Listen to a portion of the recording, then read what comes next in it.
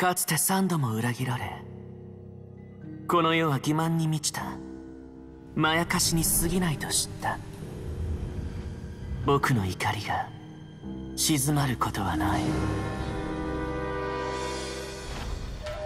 一度目が神。僕の創造者。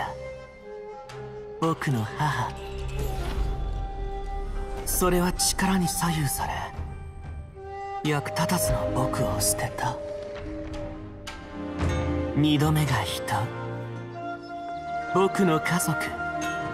僕の友人。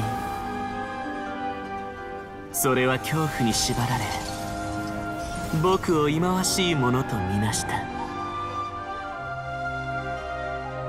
三度目が同類。僕の期待。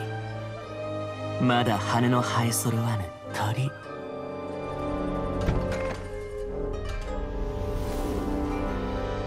それは寿命に支配され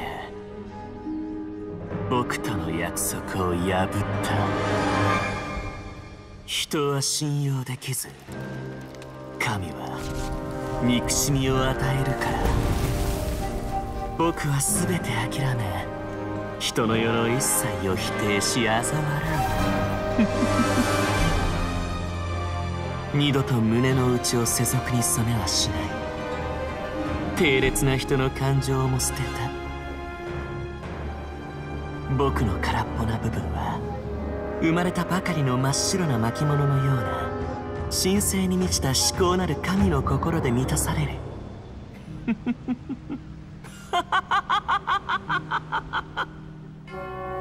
恐れずとも痛みはほんの一瞬だ。